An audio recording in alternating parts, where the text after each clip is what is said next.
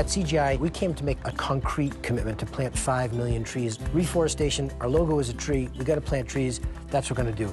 There were trees in this place. Now, with the communities who cut them, well, we're planting them. We can go dig a hole and drop in a tree, but that's not sustainable reforestation. Our work in Haiti has turned into sustainable agriculture, of which tree planting is a critical element.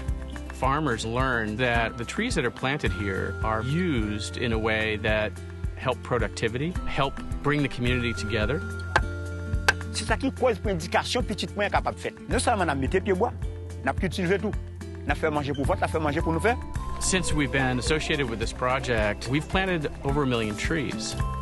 In the course of three years, this program can stand on its own. Just like the people are ready for change, the environment is ready for change. And uh, given just a little bit of incentive, can do amazing things.